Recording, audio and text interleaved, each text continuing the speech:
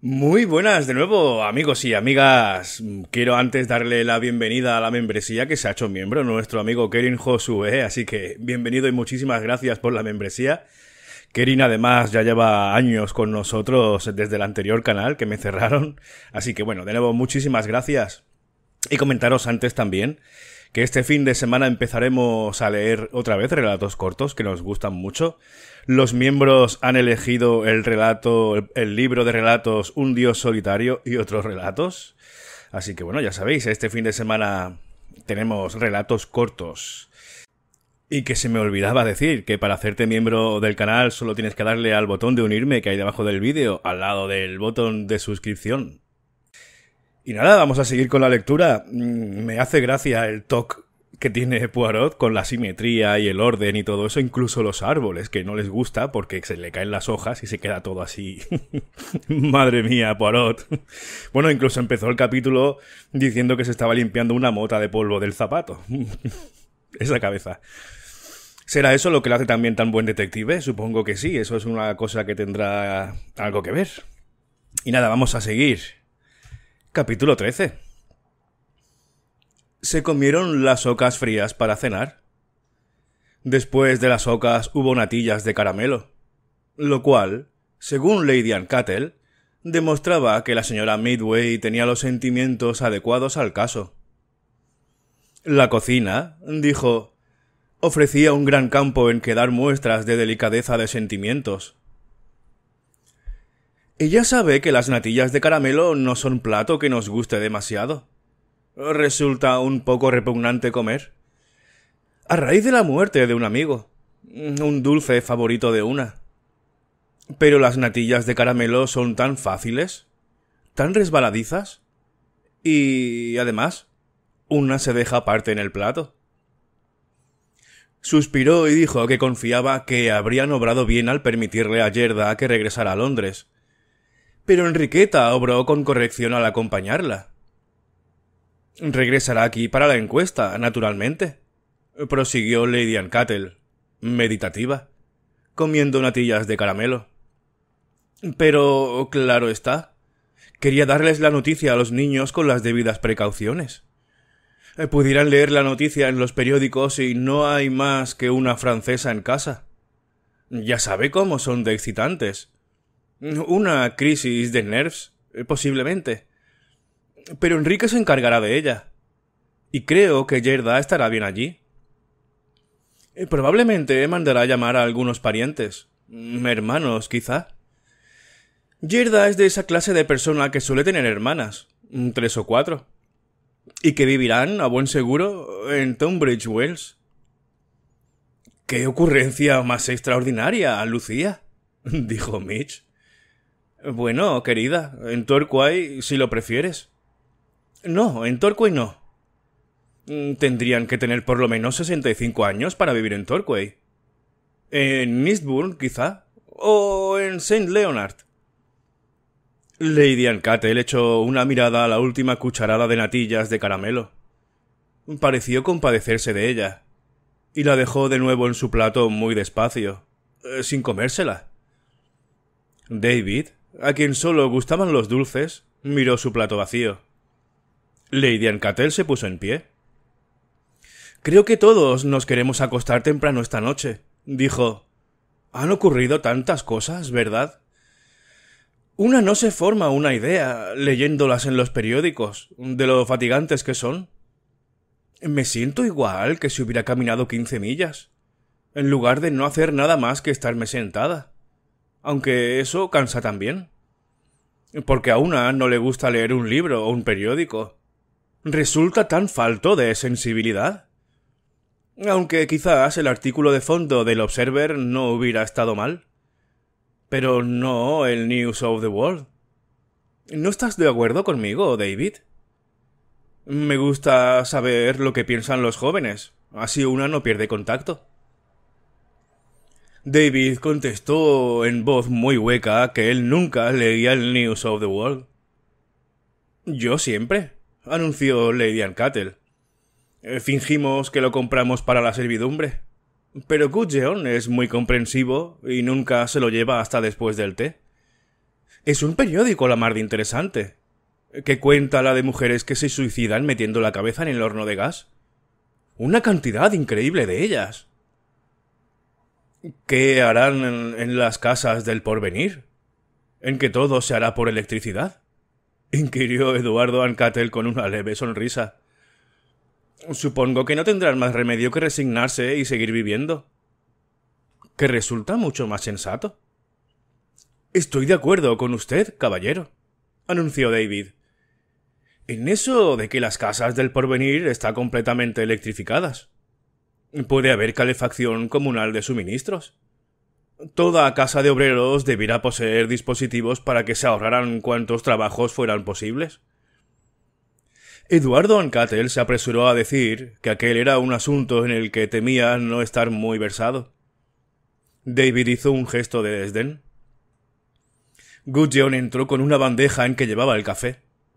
Se movía más despacio que de costumbre, como para dar la sensación de duelo. Ah, Gudgeon, dijo Lady Ancatel. Esos huevos. Tenía la intención de marcarlos con la fecha, como de costumbre. ¿Quiere decirle a la señora Midway que se encargue de ello? Creo, milady, que hallará usted que todo se ha atendido satisfactoriamente, contestó el mayordomo. Carraspeó. Me he cuidado yo, personalmente, del asunto. Oh, gracias, Gudgeon. Y al salir, el hombre murmuró. La verdad, Gudgeon es maravilloso. Toda la servidumbre se está portando maravillosamente.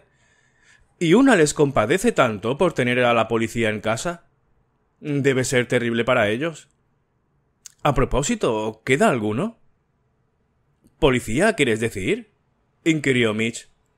Sí. ¿No suelen dejar a uno plantado en el vestíbulo? O tal vez esté vigilando la puerta principal escondido en el seto o allá afuera. ¿Por qué habían de vigilar la puerta principal? La verdad no lo sé. Eso es lo que hacen en las novelas. Y luego asesinan a otro durante la noche. Lucía, por favor. exclamó Mitch. Lady Ancatel la miró con curiosidad. Querida, cuánto lo siento. Qué estúpida soy. Y claro está, no pueden asesinar a nadie más. Yerda se ha ido de casa. Quiero decir, oh, Enriqueta, querida, lo siento. No tenía intención de decir eso. Pero Enriqueta no contestó. Estaba de pie junto a la mesita redonda contemplando la lista de tantos de la partida de bridge de la noche anterior. Dijo, saliendo de su ensimismamiento. Perdona, Lucía. ¿Qué decías? Me preguntaba si quedaría en la casa algún policía sobrante. ¿Como retales de un saldo? No lo creo. Todos han vuelto a la comisaría para escribir lo que hemos dicho en terminología policíaca. ¿Qué estás mirando, Enriqueta? Nada. Enriqueta cruzó hacia la repisa de la chimenea. ¿Qué crees que estará haciendo Verónica Cray esta noche? preguntó. El rostro de Lady le expresó algo muy parecido al pánico. Querida, ¿crees acaso que vendrá aquí otra vez? Debe de haberse enterado de la noticia ya. Sí, asintió Enriqueta, pensativa. Tiene que haberse enterado. Y eso me recuerda, dijo Lady Cattle. Es necesario que telefone a los Clay. No podemos permitir que vengan a comer mañana como si no hubiera sucedido nada. Salió de la estancia. David, odiando a todos los parientes, Dijo eh, algo entre dientes de que quería consultar la enciclopedia británica. La biblioteca, pensó, resultaría un lugar bastante tranquilo. Enriqueta se acercó a los ventanales. Eduardo la siguió. La encontró parada fuera, contemplando el cielo. Dijo ella. No hace tanto calor como anoche, ¿verdad? Eduardo respondió, con su agradable voz. No. Hace bastante fresco. Empezó a mirar la casa. Recorrió con las vistas las ventanas. Luego dio media vuelta y contempló el bosque. Eduardo no tenía la menor idea de lo que la otra estaría pensando. Hizo un movimiento hacia el ventanal. Más vale que entres. Hace frío. Ella movió negativamente la cabeza. Me voy a dar un paseo hasta la piscina. Oh, Enriqueta. Dio un paso hacia ella. Te acompañaré. No, gracias, Eduardo. La voz cortó tanto como el frío de la noche. Quiero estar a sola con mis muertos. Enriqueta. Querida. Yo no he dicho nada. Pero sí que sabes cuánto. cuánto lo siento. ¿Lo sientes? ¿Que Juan Cristo haya muerto? Seguía su voz frágil y aguda.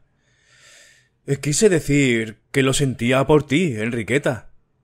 Sé que tiene que haber sido un golpe terrible. ¿Golpe?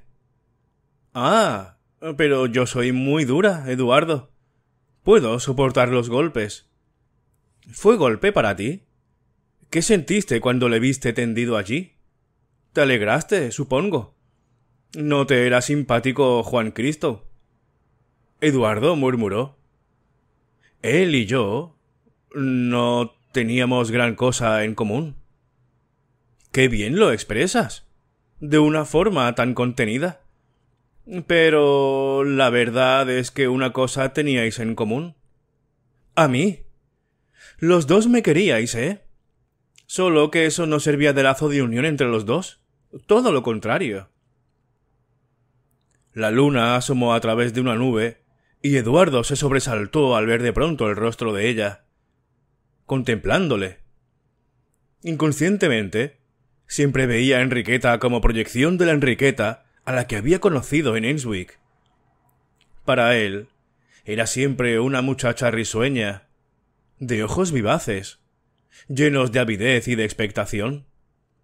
La mujer que vio ahora le pareció una extraña, con ojos brillantes, pero fríos, que parecían mirarle con hostilidad dijo con sinceridad. Enriqueta, querida mía, créeme. Sí que me conduelo contigo. En. en tu angustia. en la pérdida que acabas de sufrir. dijo ella en voz baja.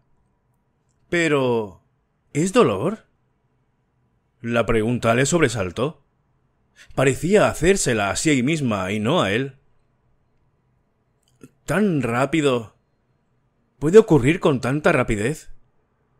Un momento vivo, respirando, y al siguiente muerto, desaparecido. El vacío. Oh, el vacío. Llenos aquí a nosotros, a todos nosotros, comiendo natillas de caramelo y diciendo que estamos vivos.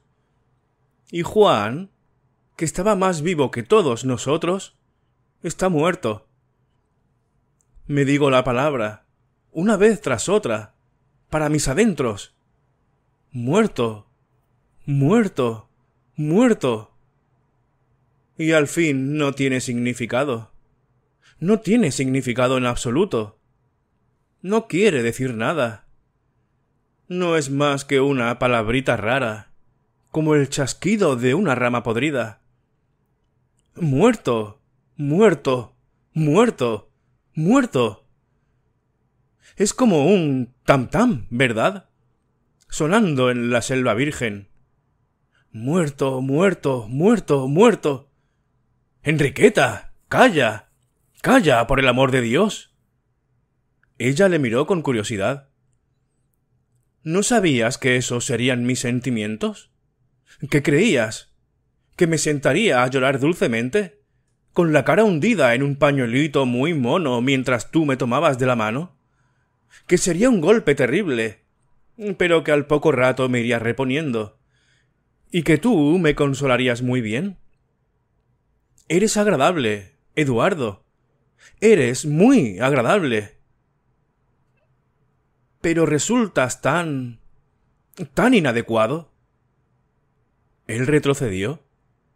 Se tornó rígido su semblante dijo Eso siempre lo he sabido. Enriqueta prosiguió con ferocidad. ¿Qué crees tú que ha sido para mí toda la noche? Sentados unos y otros por ahí.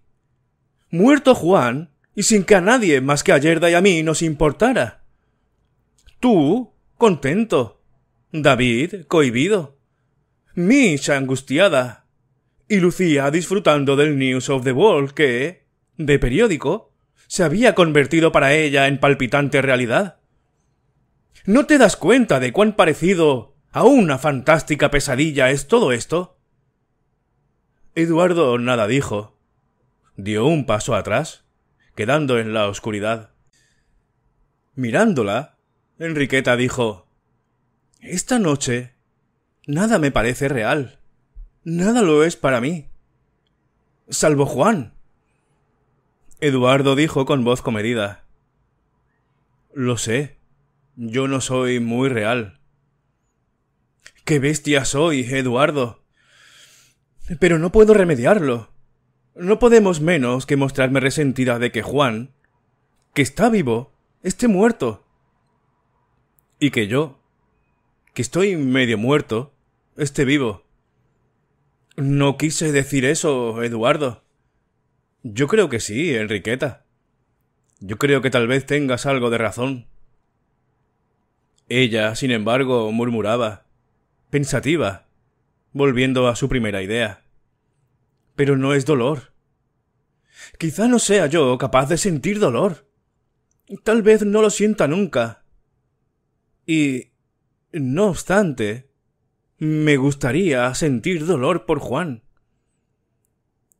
Sus palabras le parecieron a él fantásticas, pero aún quedó más sobresaltado al agregar la muchacha de pronto, con voz determinada.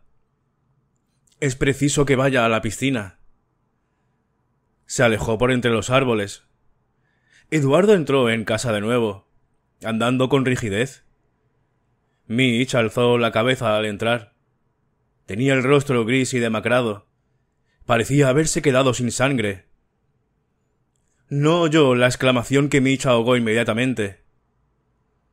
Se acercó a una silla maquinalmente y se sentó como si comprendiera que se esperaba algo de él.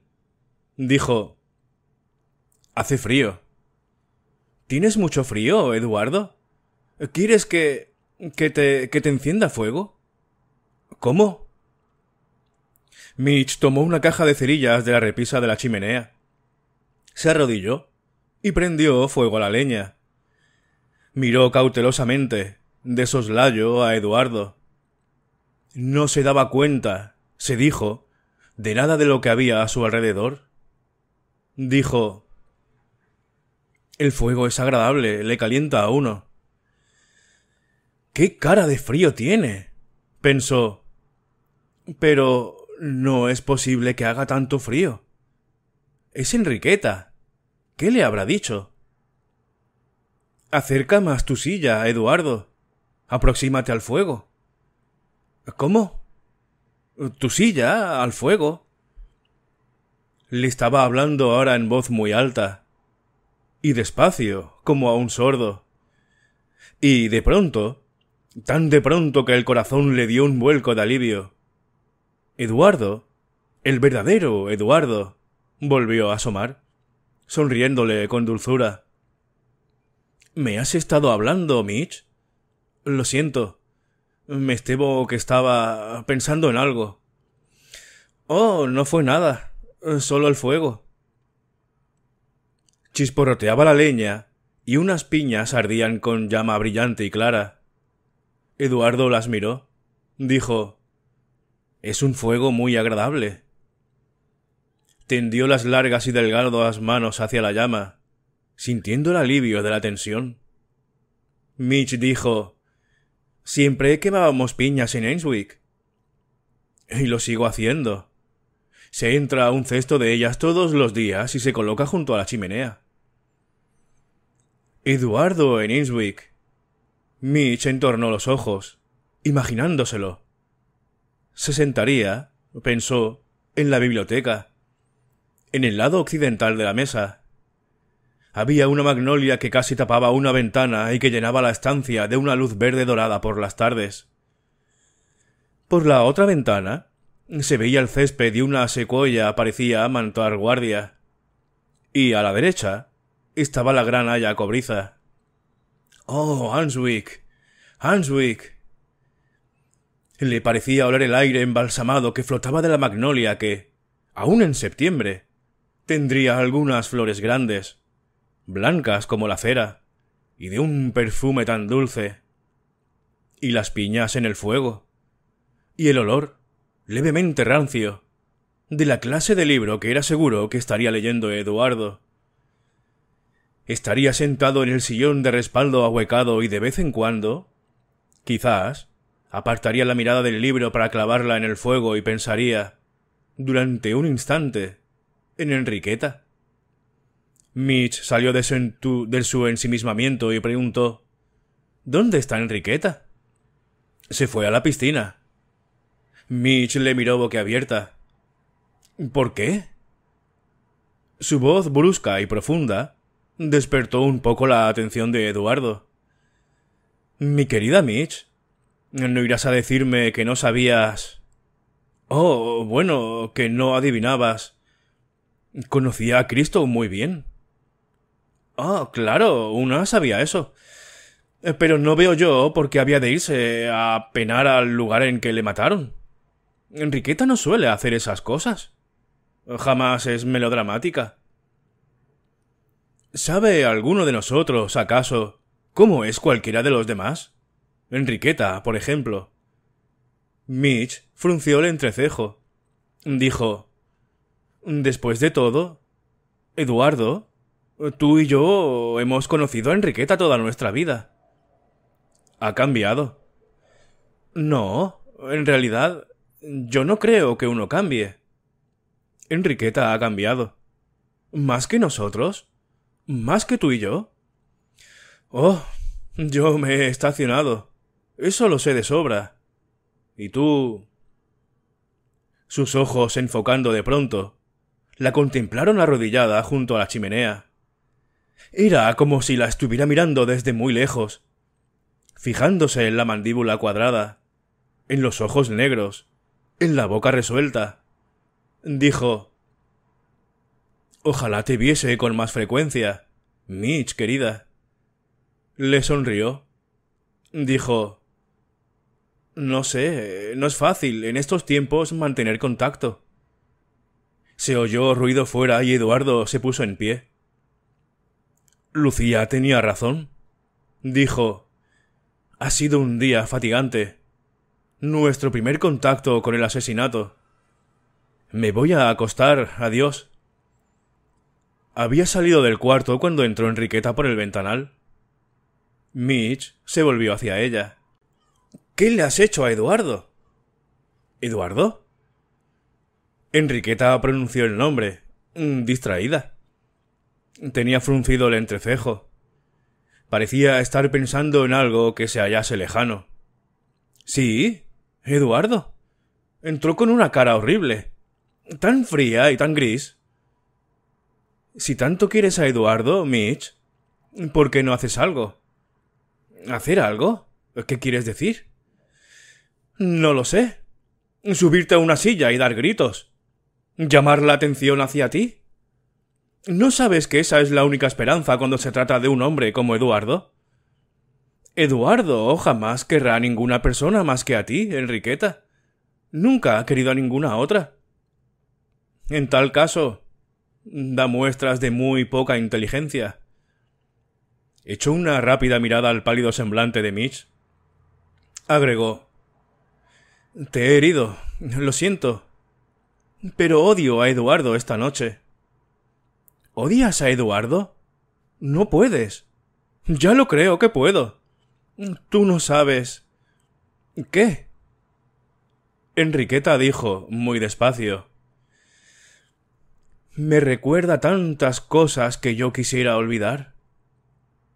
¿Qué cosas? Pues.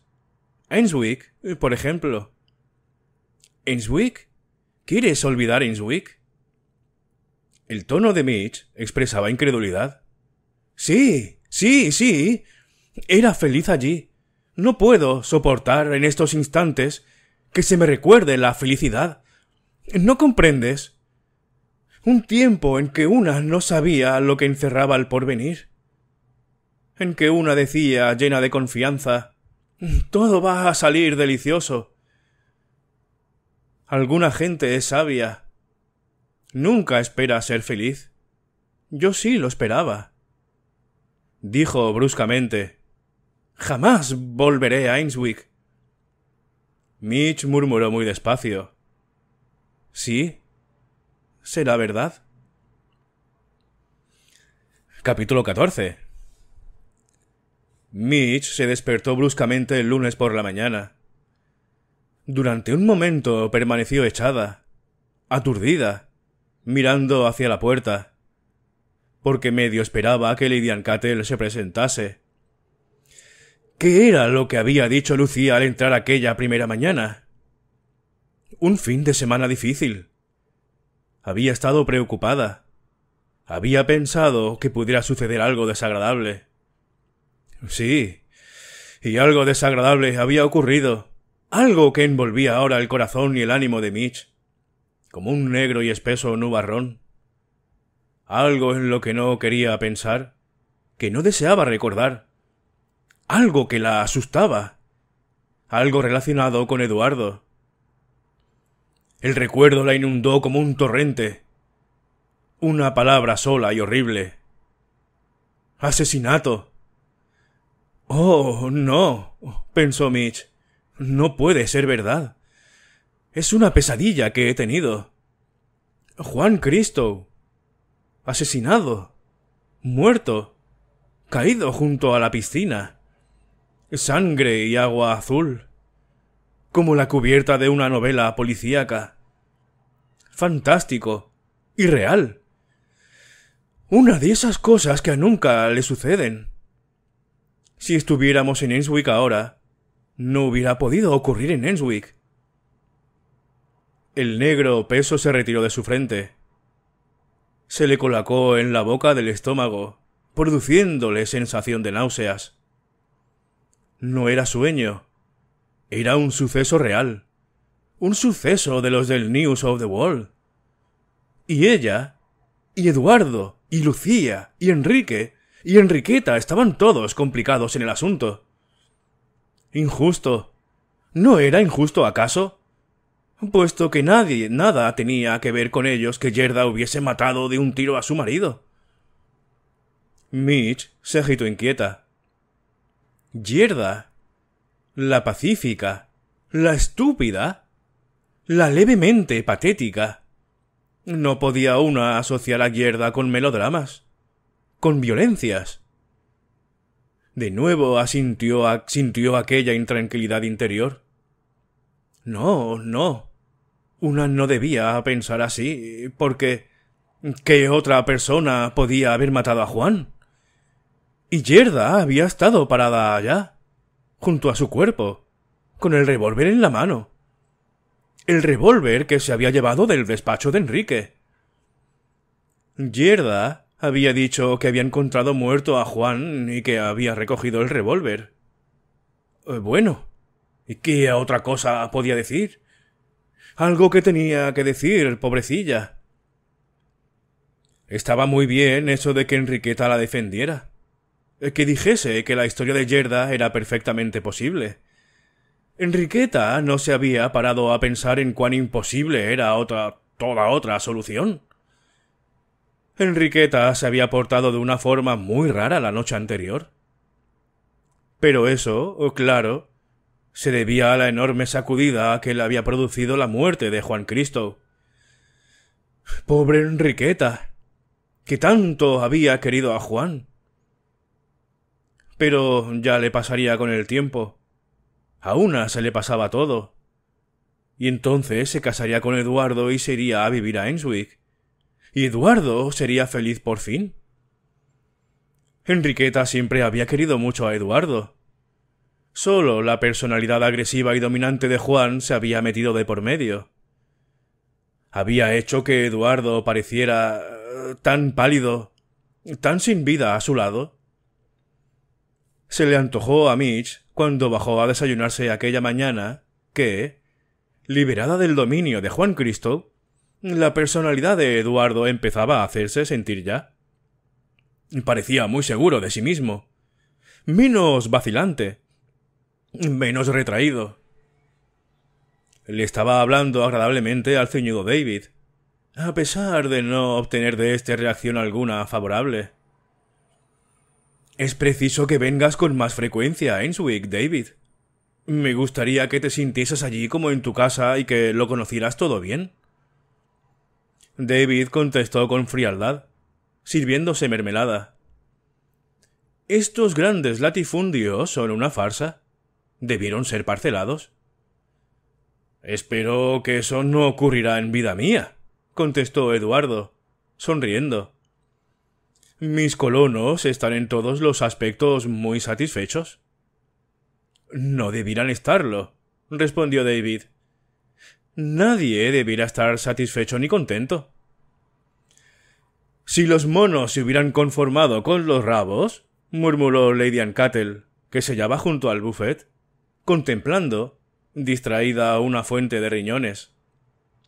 Es un verso que aprendí de pequeña, pero no me acuerdo de cómo sigue. He de charlar un rato contigo, David, y ponerme al corriente de todas las ideas nuevas. Por lo que veo, una debe odiar a todo el mundo, pero al mismo tiempo darles asistencia médica gratuita. Mucha más cultura. Pobres criaturas. Meter como un rebaño a todos esos niños indefensos en una escuela todos los días. Y aceite de hígalo de bacalao a los nenes. Haciéndoselo tragar a viva fuerza si no se lo toman por las buenas. Con lo desagradable y maloliente que es. Lucía, pensó Mitch.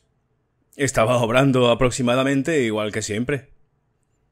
Y Gudgeon, cuando se cruzó con ella en el vestíbulo, también parecía tener el aspecto de costumbre. La vida había vuelto a su cauce normal en The Hollow, al parecer. Habiéndose marchado Yerda, todo lo sucedido parecía un sueño. Fuera sonó el crujido de la grava bajo las ruedas de un coche y el automóvil de Sir Enrique se detuvo. Había pasado la noche en su club y emprendió el camino de regreso a The Hollow a primera hora de la mañana. ¿Todo marchó bien? inquirió Lady Ancatel. Sí. Estaba allí la secretaria, una muchacha de mucha capacidad. Asumió ella la dirección de todo. Hay una hermana, al parecer. La secretaria la telegrafió. Ya sabía yo que la habría, dijo Lady Ancatel. ¿En Tunbridge Wells? Creo que en Bexhill, contestó Sir Enrique, mirándola intrigado. Seguramente. Lucía pareció estudiar a Bexhill mentalmente. Sí, probablemente. Gudgeon se acercó. El inspector Grange telefoneó a Sir Enrique. La encuesta se celebrará el miércoles a las once de la mañana. Sir Enrique asintió con la cabeza. Dijo Lucía. Mitch, más vale que telefonees a tu tienda. Mitch se dirigió muy despacio al teléfono. Su vida había sido siempre tan normal, tan vulgar, que le pareció que carecería de frases para explicarle a su jefe que, al cabo de cuatro días de vacaciones, no le era posible volver a su trabajo debido a que se hallaba complicada en un asesinato. No sonaba creíble. Ni siquiera lo sentía creíble y Madame Alfred no era persona a quien resultara fácil explicarle cosa alguna en ningún momento. Mitch cuadró la mandíbula y descolgó el auricular. Todo resultó tan desagradable como ella había esperado. La voz ronca de la vitrólica judía sonó furiosa por el aparato. ¿Qué hizo, señorita Afkal? ¿Una muerte? ¿Un entierro? ¿No sabe usted de sobra que ando falta de brazos? ¿Usted cree que voy a aguantar excusas? Ah, sí. Eh, seguramente lo está usted pasando muy bien. Mitch la interrumpió hablando aguda y claramente. Me lo impide la policía. ¿La policía? ¿La policía ha dicho? Casi era un alarido. ¿Anda usted mezclada con la policía? Mitch apretó los dientes y continuó explicando. Era raro cuán sórdido le hacía parecer todo aquella mujer con la que estaba hablando. Un vulgar caso policíaco. ¿Qué alquimia había en los seres humanos? Eduardo abrió la puerta y entró. Al ver que Mitch telefoneaba, inició la retirada. Ella le contuvo. Quédate, Eduardo, por favor. Oh, quiero que te quedes aquí. La presencia de Eduardo en el cuarto le daba fuerzas. Hacía de antídoto contra el veneno. Destapó de nuevo la boquilla. ¿Cómo? Sí, lo siento, madame. Pero después de todo, la culpa no es mía. La voz desagradable y ronca gritaba furiosamente. ¿Quiénes son estos amigos suyos? ¿Qué clase de gente es para que tenga a la policía allí y para que maten en su casa a un hombre? ¿Ganas me ganan de no volverla a admitir? No puedo consentir que el hombre de mi establecimiento pierda. Mitch dio contestaciones sumisas. Colgó el auricular por fin con un suspiro de alivio. Estaba alterada y sentía náuseas.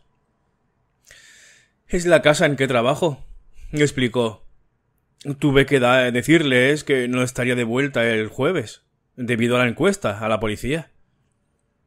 Espero que se mostrarían comprensivos. ¿Qué tal es esa tienda de vestidos? ¿Es simpática la dueña? ¿Resulta agradable trabajar con ella? no diría yo tanto. Es una judía del barrio de, barrio de Whitechapel, con el pelo teñido. Pero, mi querida Mitch. La cara de consternación de Eduardo casi la hizo romper a reír. Tan preocupada estaba. Pero, hija mía, tú no puedes aguantar eso. Si has de trabajar, has de tomar un empleo donde el ambiente sea armonioso y la gente con quien trabajes te sea simpática. Mitch le miró unos segundos sin contestar. ¿Cómo explicarle? pensó. a una persona como Eduardo. ¿Qué sabía Eduardo de colocaciones, de lo difícil que resultaba encontrar un empleo? Y de pronto, una oleada de amargura la invadió. Lucía, Eduardo, sí, hasta Enriqueta. Estaba separada de todos ellos por un abismo infranqueable. El abismo que separa a la gente acomodada de los que tienen necesidad de trabajar. No tenían la menor idea de lo difícil que era conseguir un empleo y, haciendo, habiéndolo obtenido, de conservarlo. Podría decirse, tal vez, que en rigor no había necesidad de que ella se ganara la vida. Lucia y Enriqueta la hubiesen acogido gustosas en su hogar, y con igual alegría le hubieran señalado una pensión. Eduardo también hubiese hecho esto último de muy buena gana. Pero Mitch se rebelaba ante la idea de aceptar la vida fácil que sus parientes acomodados le ofrecían. El acudir en contadas ocasiones a casa de Lucía y compartir su vida bien ordenada y de lujo resultaba delicioso. Podía disfrutar de veras en tales ocasiones. Cierta independencia de espíritu, no obstante, le impedía aceptar semejante vida como un regalo. Esa misma manera de pensar no le había permitido establecerse por su cuenta con dinero como préstamo de sus parientes y amigos. Tenía demasiadas cosas para eso. No pedía dinero alguno prestado. No haría uso de ninguna influencia. Había encontrado empleo con un sueldo de cuatro libras esterlinas a la semana. Y si bien había logrado colocación porque Madame Alfred confiaba que Mitch atraería a sus amigas elegantes a la tienda y les haría comprar, Madame Alfred se había llevado un chasco. Mitch desanimaba a toda amiga suya a quien pudiera ocurrírsele semejante idea. No se hacía ilusiones de ninguna clase. El establecimiento le era antipático. Madame Alfred también. Odiaba el tenerse que mostrar siempre sumisa y servil con la clientela maleducada y falta de la más elemental cortesía. Pero dudaba mucho que pudiera encontrar un empleo que le gustara más puesto que no contaba con los conocimientos necesarios. El que Eduardo supusiera que contaba con una variedad muy grande de empleos entre los que escoger, le resultaba insoportable e irritante aquella mañana. ¿Con qué derecho vivía Eduardo en un mundo tan divorciado de la realidad? Eran Ancatel todos ellos. Y ella. Ella solo era Ancatel a medias. Y a veces, como aquella mañana, no se sentía Ancatel en absoluto. Era totalmente hija de su padre. Pensó en su padre con la misma sensación de amor y de pesar de siempre. Un hombre que había luchado años y años dirigiendo un pequeño negocio de familia, que a pesar de todos sus esfuerzos y todos sus cuidados, había forzosamente de ir en continua baja. No porque él careciese de capacidad, sino como consecuencia de los crecientes progresos. Por raro que parezca, Mitch había centrado toda su devoción, no en su madre, en la brillante Ann sino en su pacífico y cansado padre.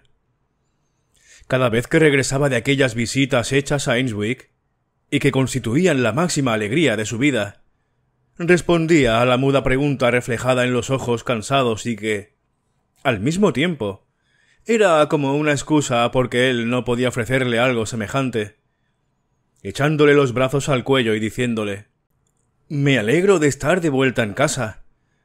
Me alegro de estar de vuelta en casa. La madre había muerto teniendo Mitch trece años. A veces, Mitch se daba cuenta de que sabía muy poco de su madre. Era para ella una figura vaga, encantadora, alegre. Se había arrepentido de su matrimonio de aquel matrimonio que la había sacado del círculo de la familia Ancatel? Mitch no tenía la menor idea. El padre se había tornado más gris y más callado después de la muerte de su esposa. Su lucha contra la extinción de su negocio se había hecho cada día más inútil. Había muerto pacífica y conspicuamente cuando Mitch tenía dieciocho años. Mitch había pasado temporadas con varios de los Ancatel, había aceptado regalos de ellos. Lo había pasado muy bien en su compañía. Pero se había negado a depender económicamente de su buena voluntad.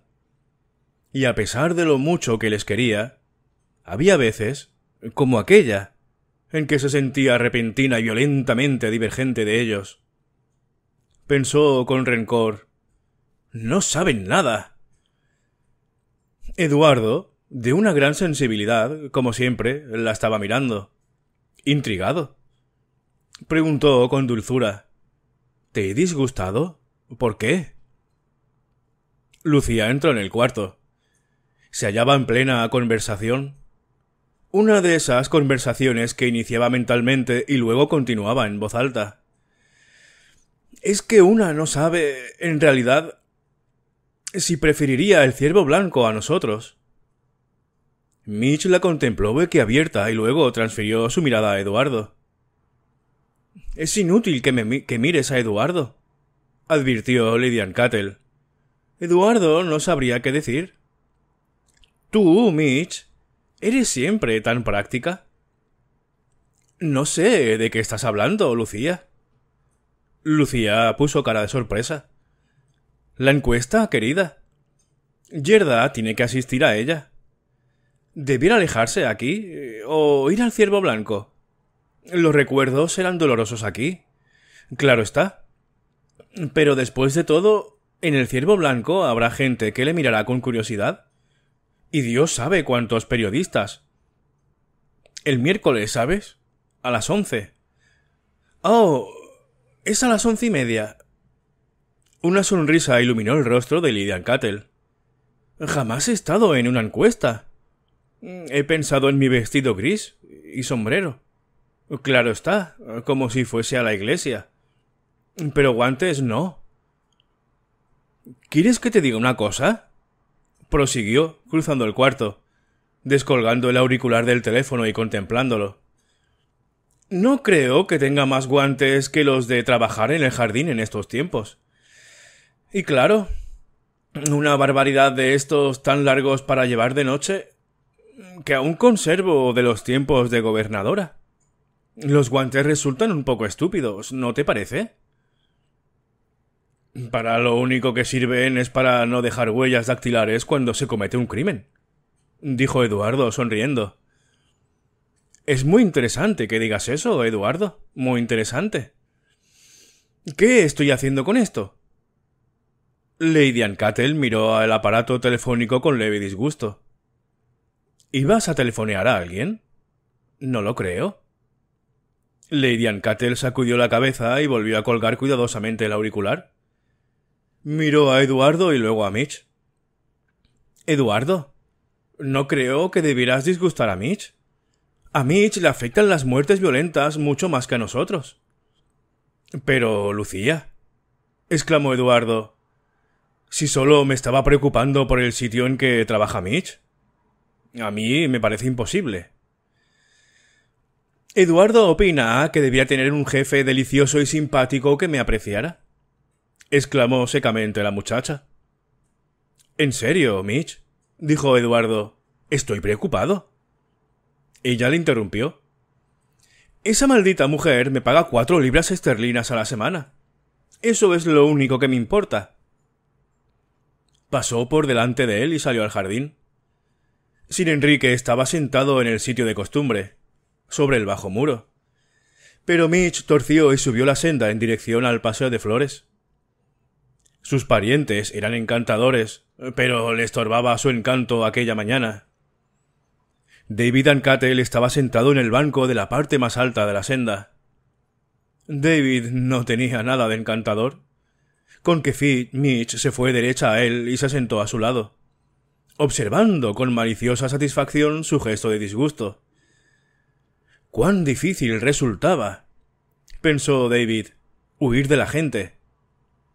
Le habían echado de su cuarto las incursiones de las doncellas armadas de paños para quitar el polvo, cubos y escobas, la biblioteca y la enciclopedia británica no habían resultado el santuario que con tanto optimismo había esperado que fueran. Lady Ancatel había entrado un par de veces, dirigiéndole bondadosamente palabras a las que no parecía haber contestación inteligible alguna. Había salido a condolerse, a solas, de su situación. El simple fin de semana al que de mala gana se había comprometido habíase alargado ahora como consecuencia de las exigencias relacionadas con una muerte repentina y violenta. David, que prefería la contemplación de un pasado académico o la discusión del porvenir de la izquierda, carecía de aptitudes para enfrentarse con un presente violento y realista. Como le había dicho Lady Cattle, él no leía el News of the Wall. Pero el News of the Wall había venido a The Hollow. ¡Asesinato! David se estremeció de repugnancia. ¿Qué pensarían sus amigos? ¿Cómo se tomaban el asesinato? ¿Cuál era la actitud de uno? ¿De aburrimiento? ¿De disgusto? ¿De leve distracción o diversión? Como quiera que estaba tratando de llegar a una decisión sobre este punto, le hizo poquísima gracia que le fuera a turbar Mitch. La miró con inquietud cuando se sentó a su lado. Le sobresaltó el gesto de desafío con que le devolvió la mirada. Una muchacha desagradable, sin valor intelectual alguno. Preguntó Mitch. ¿Qué tal? ¿Te gustan tus parientes? David se encogió de hombros. Dijo En realidad. ¿Piensa uno en alguno de los parientes acaso? Dijo Mitch. ¿Acaso piensa uno en algo? Tú, en, sin duda alguna, en nada, se dijo para sus adentros David. Luego, casi con amabilidad, analizaba mis reacciones ante un asesinato. Desde luego es curioso, murmuró Mitch. Encontrarse en uno. David suspiró y dijo Fastidioso. Esa era, pensó, la mejor actitud. Todos los clichés, Todas las frases hechas, todas las situaciones manidas que uno creía no tenían existencia fuera de las páginas de una novela policíaca. Debes estar arrepentido de haber venido, dijo Mitch. David volvió a suspirar. Sí. Hubiese podido estar en casa de un amigo mío en Londres. Y agregó. Tiene una librería izquierdista. Supongo que se está más cómodo aquí. ¿Le importa a uno la comodidad en rigor? inquirió David con desdén. Hay veces, afirmó Mitch, en que me parece que es lo único que me importa. La actitud de los mimados de la fortuna, dijo David. Si fueras una trabajadora. Mitch le interrumpió. Lo soy. Precisamente por eso me resulta tan atractivo el gozar de las comodidades. Camas blancas. Almohadas de edredón. El desayuno en la cama. Un baño de porcelana con agua caliente a discreción. Y deliciosas sales de baño. Una de esas butacas en que una se hunde de verdad. Mitch hizo una pausa en la enumeración. Los trabajadores, dijo David, debieran tener todas esas cosas. Pero estaba un poco dudoso en cuanto se refería al desayuno en la cama. Sonaba imposiblemente sibarítico para un mundo seriamente organizado. No podría estar más de acuerdo contigo de lo que estoy, aseguró Mitch de todo corazón.